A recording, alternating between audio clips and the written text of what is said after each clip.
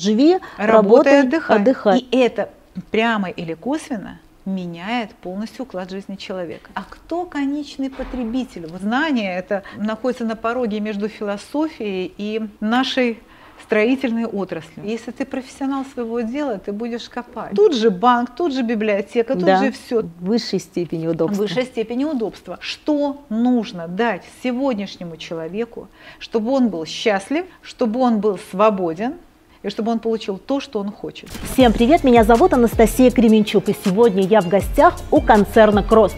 Сегодня мы вам покажем и расскажем о новом бизнес-центре компании Невский Плаза. Будет интересно, не переключайтесь.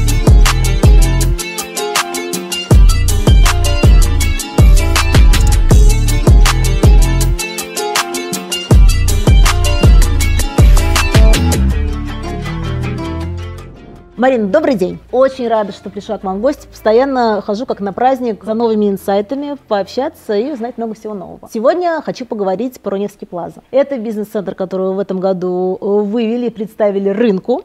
И вот такой вопрос. Вообще, с чем связано ваше желание построить именно бизнес-центр в квартале Невский? Э, Может быть, здесь, в этом районе, какая-то нехватка офисных площадей? Если совсем быть откровенным и честным, ситуация с бизнес-центрами, как большими объемами площадей, она связана не только с желаниями девелоперов, потому что мы знаем, что есть девелоперы, которые специализируются на строительстве офисных, торговых центров, э, и есть специализация, и компании набивают руку, такие как KR Property, Horus Capital, и мы многих других наших коллег знаем. Данное решение было связано в первую очередь с двумя направлениями. Первое направление – это политика города, о том, что нужно двигаться в сторону полицентричной Москвы. Полицентричная Москва – это не только детские сады и школы рядом с жилыми домами, это все-таки организация мест приложения труда, качественные рабочие места, это в том числе касается и мест торговой галереи, там, ну, торговых площадей, так скажем, стрит-ритейла. И, собственно говоря, вся социальная инфраструктура, она тоже расширяется и Мгм. тоже имеет отношение в каком-то смысле к коммерческой недвижимости, где мы ратуем за развитие и бизнес-центров, и центров дополнительного образования, культуры, просвещения. Это все имеет значение именно в идеологии полицентричной Москвы. Мгм. Поэтому я считаю, что эта политика города, она сформулирована несколько лет назад Сергеем Семеновичем. Все девелоперы ее, абсолютно все поддерживают, потому что прекрасно понимают, что натыкать красивых, очень красивых и фантастически красивых проектов, это, конечно, все хорошо, но если мы хотим, чтобы вот миграции такой не было в сторону центра, и чтобы люди все-таки сохраняли свое здоровье эмоциональное, психологическое, физическое и находились там, где они проживают и живут, и могли в шаговой доступности либо какими-то мобильными средствами класса велосипедов, каких-то других пользоваться, а не садиться в машину опять куда-то ехать с семьей, Мгм. выбираться, потом снова забираться домой, чтобы вот этого не было тяжелого пути, конечно, этот путь правильный, и он поддержан всеми девелоперами. Вот откуда природа бизнес-центра. Ну хорошо, э, вас можно уже поздравить с классным дебютом в области именно Спасибо. офисной недвижимости. Я была практически на всех ваших проектах. Мне очень нравится, что вы делаете. Это горизонтально-вертикальное развитие. В принципе, вы не новички в строительстве коммерческой недвижимости, но так или иначе она расположена все-таки в жилых комплексах. То есть это большой стилобат, стрит-ритейл и так далее. Вот не страшно было ли начинать вообще проект отдельно стоящего именно бизнес-центра, без жилой составляющей? Во-первых, он находится внутри, так скажем, большого жилого микрорайона, не только который мы сами создаем и до сих пор строим и развиваем эту территорию в треугольнике Головинское шоссе, Выборгское, Макарова, Мгм. но и в том числе другие девелоперы тоже здесь очень много строят. И вообще это очень перспективное направление, которое нуждается, конечно же, в э, офисной недвижимости. И почему оно перспективно? Потому что голосуют в первую очередь люди, покупая, выбирая жилье. Потому что Ленинградка это такой вот, если посмотреть на карте Москвы, это хорошее плечо. Рядом центр, тут же Шереметьево, Да. тут же какие-то развязки, вылетная трасса на МКАД. То есть сам по себе вот этот район Ленинградского шоссе, Мгм. Ленинградского проспекта и в сторону, когда разветвляется и Волоколамка, и туда уходит в сторону Шереметьево. Это все, конечно, востребовано. Не страшно было совершенно отдельный проект строить, потому что, еще раз повторю, что он находится внутри жилого образования. Он же сам по себе не моно просто объект э, с точки зрения офисной недвижимости. Мы же любим какую-то многофункциональность добавить. Да. Поэтому мы добавили туда торговую составляющую, торговую галерею, где, э, в принципе, будет помимо того, что мы хотим, конечно, сделать модную определенную бутиковую зону. Угу. Но бутиковая зона это, конечно, не Шанель, не Прада, потому что, да, во-первых, их уже нет, а во-вторых, все-таки мы не в том месте находимся, но у нас очень много, на мой взгляд, хороших, качественных дизайнеров. И вообще сегодня вот такая вот, э, так скажем, направление моды, как fashion, да, в России, оно фантастически развивается. Да. И я хочу сказать, что среди э, моих друзей, и я сама, и среди вообще моего окружения очень многие перешли вообще на отечественное производство. И мы хотим предоставить для них тоже красивые, яркие площади, где они могли бы себя бы демонстрировать. И самое главное, что здесь есть, они в центре спроса будут находиться. Да. Дальше, безусловно, любое жилое образование имеет запрос, как говорится, есть первичность хлеба и зрелищ, поэтому, конечно же, нам нужно посадить сюда качественные рестораны, качественные кафе хорошие, и они тоже сюда придут, потому что здесь концентрация большая проживающих людей и работающих уже будет. И, конечно же, будут такие выставочные пространства, конференц-залы, которые будут работать сами по себе как на бизнес-центр, так и, собственно говоря, на внешний рынок, потому что сегодня это тоже имеет колоссальный спрос. Все сейчас собираются на конференциях, да, сегодня бизнес настолько у всех, во всех отраслях переформатируется, что потребность заявлять о себе, собирать аудитории, угу. она только увеличивается. И поэтому сегодня не обязательно там, если тебе нужно поменять помещение, например, на 500 посадочных мест, там 600, 700, не обязательно там идти в отель и платить сверхдорого. Конечно. Да, можно спокойно арендовать в бизнес-центре. И я думаю, что это действительно хорошая альтернатива. Ну, раз уж мы затронули тему концепции, тогда э, прям хотелось бы пораспрашивать про бизнес-центр поподробнее. Насколько я понимаю, здесь будет две башни, которые расположатся да. на Стилобате. Какая будет этажность? Э, какая площадь офисная? Какая площадь как раз вот этих вот выставочных пространств и стрит-ритейла расположенного? Просто подробности по цифрам, там, по проекту, если помните. Ну, вообще это так, чтобы без детализации, это 20-тысячник, чтобы угу. легче было запомнить. Это две башни с хорошей развитой торговой галереей. Торговая галерея будет где-то порядка 3000, 3,5 тысяч. Мы там посмотрим, как удастся нам перераспределить эти площади. Угу. Ну и, собственно говоря, мы заложили сюда достаточно большую гибкость. Поскольку, поскольку у нас действительно набита рука на функциональном жилище, мы свой опыт применили в том числе в организации пространства под бизнес-центр, потому что это те же, то есть кабинеты, помещения, которые должны обслуживать, например, какое-то либо ограниченное количество рабочих мест, либо наоборот дать э, большую свободу. Поэтому у нас большой выбор начиная от приобретения площади этажа, порядка 450 метров, 500, в зависимости, как там коридоры, холлы будут да. и что будет входить в площадь, в принципе, до площадей уровня там 40-45 квадратных метров. Даже Поэтому... 30 есть, я, по-моему, Даже 30 есть, угу. да, есть стояк э, совершенно там малышек, угу. так называемых но с двумя окнами, потому что у нас нету таких помещений, где есть одно окно, ну например, ну, да. на 30 метров. Да, то есть у нас освещенность достаточно высокая, инсоляция хорошая. И вообще сама по себе архитектура, она такая вкусная, я бы так сказала, потому что мы продолжили вот эту историю новомосковского стиля. Угу. Она такая с одеждой. Обычно офисы это стекляшка. Стекляшка красивое, силуэт стекла, там такой, секой, пятый, двадцать пятый. Уже приелось это стекло, да, да, везде. А здесь это продолжение вот этого такого жилого подхода, да, к новомосковскому стилю, то есть много кирпича, красивого, дорогого, эффектного и, конечно же, большие световые пространства. Мы считаем все, что выше там, 40 сантиметров от пола, 30-40 сантиметров, все равно это большое окно, да. то есть больше, чем метр восемьдесят, да. например, по высоте. Поэтому, конечно же, это очень комфортно уютные, красивые помещения, где тоже немножко мы видоизменяем взгляд рынка и говорим, а почему это должно быть стекло, почему это не может быть именно так, чтобы можно было открыть окно, а не обязательно только пользоваться центральным кондиционированием. Кстати говоря, это тоже интересная такая деталь, которую мы применили на Малой Дмитровке, казалось бы, в центре, там, бизнес-центр класса А. Мы в свое время много лет назад построили, он до сих пор работает, существует. И нам пришлось уже на этапе фактически активного проектирования, где была заложена приточно-вытяжная вентиляция и не было предусмотрено открывание вообще окон, угу. мы перепроектировали, и когда мы получили обратную связь от тех, кто сидит в бизнес-центрах класса А, на высоких этажах особенно, люди, которые там работают и фактически живут, да, угу.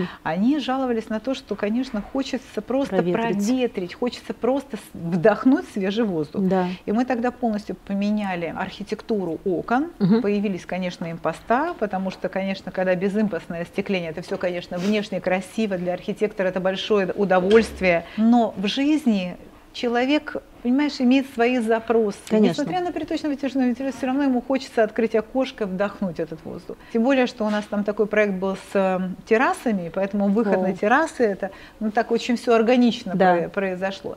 Здесь, имея вот тот опыт больше, чем десятилетней давности, мы, конечно же, оставили этот прием и сказали, что пусть человек сам выбирает, что ему нравится. Угу. Не хочет, не будет открывать, а захочет, всегда откроет. Высота потолков какая будет в офисах? 3,30. Ого, это прям хорошая да, высота да, потолков. Да. И если говорить про стрит-ритейл, вот про торговую галерею, э, это будет один вход или будет возможность в каждый из, например, там, не знаю, бутиков, магазинов или ресторанов зайти отдельно? Там будет со входной группы будет, естественно, доступ в какие-то там рестораны, угу. там такие общественные места, угу. а в основном бутиковая зона, конечно, будет иметь отдельные входа, где, да, где ты можешь не заходить во входную группу там бизнес-центра, а просто с улицы пройти пройтись как э, некий торговый ряд, угу. где ты независим от жизнедеятельности бизнес-центра. Это безусловно. Во-первых, это красиво еще да. решено, потому что такая красивая галерея. То есть ты всегда можешь как-то почувствовать себя не, не мелкой сошкой, а как-то вот торжественно, что ты проходишь, что на тебя смотрят, что ты можешь как-то выбрать, куда угу. тебе зайти. Многие консалтеры сейчас говорят, что арендаторы и покупатели, они все-таки тяготеют больше к готовым вариантам. То есть они хотят заехать в офис, пусть там будут белые стены, но они будут. И, грубо говоря, расставить компьютер и работать. У вас все-таки проект будет сдаваться в Шевенкоре, то есть без отделки. Вы целенаправленно решили, что в данной локации, например, или в данном проекте нужно делать Шевенкор? Или вы просто, как и многие тоже делают, они имеют на это право, они хотят заниматься отделкой, потому что это не их специализация. То есть они считают, что есть другие подрядные организации, пусть они занимаются. Дело в том, что если бы мы не закладывали такую масштабную гибкость проекта, то, ага. конечно, было бы совершенно правильно делать с отделкой. Но угу. поскольку мы не знаем, на каком этаже, да, на каком уровне, да, в да. каком объеме, ведь можем раскроить на пол, например, этажа да. здания, можем на четверть, можем раскроить вообще там 10 помещений, может быть, на этаже. Да. То есть вот эта гибкость, она позволяет приобретать приобретать то, что ты можешь приобрести. Если же мы заложим отделку, угу. это проект. Проектировщик должен точно заложить, какой объем помещений, сколько рабочих мест будет. То есть мы должны выдать техническое задание для отделочников, чтобы они выполнили работу полностью. Неважно, в Беле это будет предчистовая отделка, потому что предчистовая отделка это что же электрика, это же надо разметку сделать, рабочих мест, правильно? Верхнее освещение, там, настенное освещение, в полу электрика. То есть так или иначе покрасить стены это совершенно совершенно это простое решение. Да. А вот предчистовая отделка это фактически все, что заложено функционально угу. в составе любого помещения. Это иллюзия, что причастовая отделка. Нет, при чистовой отделке собирается все. Это не наш случай. Угу. Мы должны были выбирать. Либо мы делаем просто типовую отделку для всех, или предчистовую отделку для да. всех, и это весь дом. Тогда, если тебе нужно, например, пол этажа, ты просто будешь сносить, тебе это Конечно, не надо. И тогда работа. ты скажешь, а я вас не просила, я да. не готова за это платить. Это вот, как знаешь, принцип на вторичном рынке. Мне это не нравится, мне это не нужно, я не хочу за это платить. Да. А человек, продавец, говорит, а я вложился. Ну, это твоя история. Конечно, в этом отношении есть некий конфликт между, с одной стороны, запроса, угу рынка некоторых, да, игра, да. Э, и некоторых покупателей, угу. я не говорю всех. Угу. И с другой стороны, ну, мы должны были принять решение. Мы посчитали, что мы хотим удовлетворить все слои спроса, угу. и поэтому в нашем случае это невозможно. Интересный вопрос теперь будет все-таки о стоимости квадратного метра и о минимальном, наверное, пороге входа. Ой, боюсь говорить, потому что продавец хочет как можно дороже продать. Покупатель Никакую наоборот. я новость не сказала. Покупатель хочет, хочет как можно дешевле купить.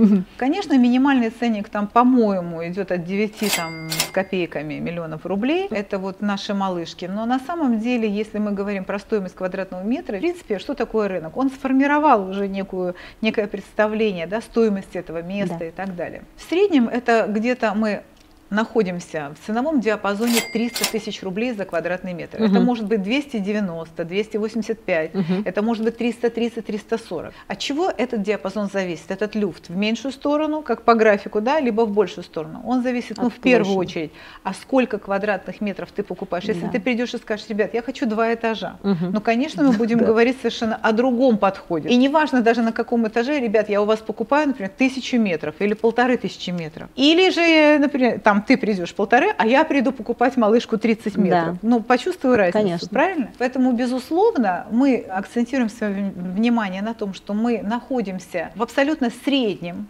не самом низком и угу. не самом высоком. Мы находимся в среднем диапазоне, соответствующем сегодняшней стадии строительства, угу. качеству этого проекта, статусу этого проекта, уровню бизнес-класса B+. Мы, конечно, не заявляем на А, но это очень качественный B+. И вот этот диапазон ценовой, он зависит, естественно, от э, спроса на площадь. Но что я хочу сказать, немножко забегая вперед, сказать следующее, что очень важно, сколько будет стоить твоя недвижимость через 5, через 7, через 10 лет. Ладно, вот сегодня. Сегодня рынок таков. Да. То выше, то ниже. Да. то выиграл, то проиграл. Угу. С этим мы все сталкиваемся. А вот когда ты понимаешь, что ты приобретаешь недвижимость в проекте, который с годами будет только увеличиваться по стоимости, угу. либо во всяком случае не терять свою цену, да. вот это уже более важный взгляд на недвижимость, чем просто локально здесь и сейчас угу. приобрести. И те, кто является инвесторами, они именно так и мыслят. Многие захотят, конечно же, иметь пассивный доход, вложив деньги, сдав угу. в аренду. Да вполне возможно, я не исключаю, думаю, что таких будет немало. Угу. И дальше уже получать э, вот этот пассивный доход, либо управлять этим бизнесом. С точки зрения входного билета и средней стоимости за офисный лот, мне кажется, что вы сейчас попали в тренд, потому что многие девелоперы декларируют то, что инвесторы, если не берем каких-то крупников, а средних инвесторов, они рассматривают покупку стрит-ритейла или офисного помещения по ценообразованию сопоставимо по квартире. Но по капитализации 30 квадратов офисов и 30 квадратов квартир – это абсолютно разные вещи. Поэтому я считаю, что вы здесь абсолютно в тренде. Ну, вообще коммерческая недвижимость сегодня имеет особый взгляд. Да. И я вот смотрю, что все наши покупатели, вот они приобрели, например, квартиру, да, вот следующий запрос, а что вы, значит, предлагаете с коммерческой недвижимостью? Угу. Просто все знают, что мы в основном сдавали в аренду и сдаем, продолжаем сдавать в аренду, но мы специализировались, так скажем, на создании коммерческой недвижимости в области инфраструктурных проектов. И ты абсолютно права, что мы вот отдельно там на бизнес-центры не уделяли внимания, но сейчас у нас в активе практически при каждом нашем проектном, так скажем, объеме, который в стадии проектирования, угу. либо где уже запущено начало исходно-разрешительной документации, у нас везде есть уже отдельно стоящие офисные центры, которые имеют и инфраструктурные объекты, например, где-то гостиница, где-то торговля, где-то это индустриальные light industrial. Угу. То есть есть этот э, тренд, он уже вошел в проектирование и везде в наши объекты, в наши проекты. То, что сейчас мы видим, это вот, так скажем, первая ласточка, да. которая появилась уже реально. Можно потрогать, сходить, зайти на этаж, посмотреть, пощупать, потрогать. Сейчас, я думаю, после этого интервью чисто офисные девелоперы немного напрягутся, потому что они-то думают, что ну, один проект, да, красивый, отличается по архитектуре, нет, а дальше... Нет, нет, нет, нет. Мы как раз обращаемся в сторону офисной недвижимости. И я вообще считаю, что это правильно. Пусть это банально, может быть, или очень э, просто звучит, угу. но когда человек имеет возможность получить все, что ему необходимо в его реальной активной жизни, не затрачивая энергию на время в пути, угу. это колоссальный плюс. Угу. Это колоссальное сохранение энергии для того, чтобы он мог что-то сделать или для семьи, или для себя, или для бизнеса. То есть не тратить вот эту пустоту, потому что самый бесценный ресурс, невосполнимый, это время. Время. Самый бесценный ресурс. И все решения, которые сегодня мы обсуждаем внутри нашей компании, они основаны именно на этом. Что нужно дать сегодняшнему человеку, чтобы он был счастлив, чтобы он был свободен, и чтобы он получил то, что он хочет. Это вот как iPhone наш. Вот мы же берем, да, iPhone, Всё ну, там, одном. до СВО, да, Мгм. тут же банк, тут же библиотека, тут Да. же все, тут же, тут вся наша жизнь. Конечно. А это разве не удобство? В высшей степени удобства. В высшей степени удобства. Оно позволяет нам ощущать моменты счастья. Взял, нажал кнопку, купил себе юбку, нажал кнопку, заплатил уборщице Да. за то, что она тебе там убрала. Нажал кнопку, увидел, например, что у тебя там в саду творится. По камерам, да. По камерам. Качество жизни и уклад жизни у человека совершенно стал принципиально другим. И мы сейчас изучаем и в жилище, как меняется уклад жизни в жилище. А как он может меняться? Именно благодаря изменению в области коммерческой недвижимости у девелоперов. Что они предлагают рынку, что они предлагают потребителю, и это прямо или косвенно меняет полностью уклад жизни человека. Вы Как- вообще э, руководствуетесь принципом «живи, Работай, работай, отдыхай». отдыхай». Да, это, мне Конечно. кажется, вообще... Это триада всей жизнедеятельности Столпы, человека, да, это столпы. Вы думаете о тех покупателях, которые, например, купили офисы, они подумали, что локация хорошая, цена хорошая, куплю. Но у них, например, нет опыта Сдачи в аренду. сдачи в аренду. Вот я, например, такой first time э, инвестор. Вы как-то будете способствовать сдаче в аренду таких офисных помещений? Ну, смотри, у нас, конечно же, есть управление коммерческой недвижимостью. И, Мгм. конечно же, было бы глупо сказать, что мы откажемся от дополнительного источника дохода, Дохода. в виде предложения таких услуг. Ну, конечно же, потому что мы продаем, Мгм. мы же можем оказать эту услугу. Мгм. И я думаю, что мы не откроем никакой там секрет, что, конечно же, это будет, и мы будем это, наоборот, продвигать. Многие девелоперы, которые уже не первый год, даже, возможно, десятилетия занимаются только лишь офисной недвижимостью, только недавно пришли к тому, что создали свою брокерскую компанию, которая помогает сдавать в аренду, потому что до этого они могли просто, например, давать какие-то контакты консультантов и прочих там брокеров, отдельно стоящих, которые могут посодействовать. А у вас уже все готовенько, несмотря на то, что только первая ласточка Ну, потому взлетела. что, ты знаешь, потому что рынок был таким, Мгм. и это какая-то, может быть, и недальновидность. Все-таки, если ты профессионал своего дела, ты будешь копать, ты Мгм. будешь э, углубляться, углубляться. А вот портрет арендатора и резидента бизнес-центра, вот э, на ваш О. взгляд, кто это? Это просто ты мне удар ниже пояса. Почему? Ну, потому что он разный, он разный. Я думаю, что будут собственники-инвесторы, которые будут создавать коворкинги типа сдача в аренду рабочих мест. Да. Второе, это будут, э, безусловно, небольшие, Мгм. Может быть, дизайн, проект бюро, которые, да, которые могут в ипотеку себе приобрести собственную недвижимость Мгм. и понимают, что все равно это его капитал, то есть как финансовый ресурс Мгм. тоже его использовать. Я думаю, что это будут э, и те инвесторы, которые будут сдавать в аренду, Мгм. и те, кто будет просто, вот как я сказала, там для себя создавать рабочие места. Но в основном, конечно, мне хочется, чтобы это была все-таки офисная история, которую мы заложили, и сегодня спрос, он, слава богу, будет формироваться именно в этом направлении. Но какие-то частные примеры, они будут безусловно, и они есть в, в любом бизнес-центре. Вдруг э, это интервью посмотрят какие-то крупные корпорации, которые рассматривают возможность вообще приобретения штаб-квартиры. Такую возможность закладывали в проект, что могут выкупить, например, башню целиком или вообще проект целиком? Да, под ты просто меня опередила, поскольку, Мгм. поскольку проект представляет из себя две башни офисные и, конечно, объединенные вот этим стиловатом торговая галерея, то сейчас мы пока с, так скажем, с гибкостью мелкоштучной Мгм. и под этаж мы взяли одну башню для того, чтобы Ага. предложить рынку. Вторую башню мы держим как раз именно для таких больших корпораций, Мгм. которые действительно смотрят на рынке отдельно стоящее собственное здание, которое мы можем предложить. Все-таки восьмитысячник это не такая там супер большая площадь, Мгм. но 8-8,5 тысяч квадратных метров это вполне достойная площадь для того, чтобы там можно было посадить компанию с хорошим ИТР составом там, больше 100 там 200 человек. Тем более локация, она располагает и выход и в Шереметьево. Там, да везде, да. слушай, тут ну, мы сами находимся Конечно. в этой локации. Да, вы сами здесь сидите, да? Мы точно. сами здесь э, сидим, и я хочу тебе сказать, что, во-первых, метро близко. Конечно. Для сотрудников, которые не на колесах, сегодня имеют все эти на самокатах, поехал там, поставил угу. уехал на метро. Инфраструктура Инфраструктура. Уже, до Тверской, там, до центра, там, ну, реально 10, ну, максимум 15 минут. Летом до набережной можно дойти прогуляться. Такого вообще нет ни в одном офисном коридоре. А как сейчас Москвы. развивается Северный речной порт? Да, Сколько сейчас, да, конечно. Да, вообще потока людей. Как обычно спрашиваю про планы. Потому что вскользь мы уже коснулись на тему того, что скоро многие девелоперы начнут э, напрягаться, кто занимается офисами. Вот, допустим, через 5 лет э, какой в портфеле у вас будет э, процент процент, возможно, офисов. Или можно поштучно сказать, что, например, у нас точно есть там штук 5 уже офисных башен в разных проектах. У нас в проектировании больше полумиллиона квадратных метров точно. Ого, Нежилой недвижимости, да, в том числе и офисной недвижимости. Но думаю, что да, если вот прям совсем всю, всю коммерческую недвижимость посчитать, то угу. это будет больше, чем полмиллиона квадратных метров. И она разная, в разных местах, в разных локациях. Для нас это, конечно, в каком-то смысле слова вызов, потому что, угу. например, такие направления, как медицина, курортная медицина, например, О. да,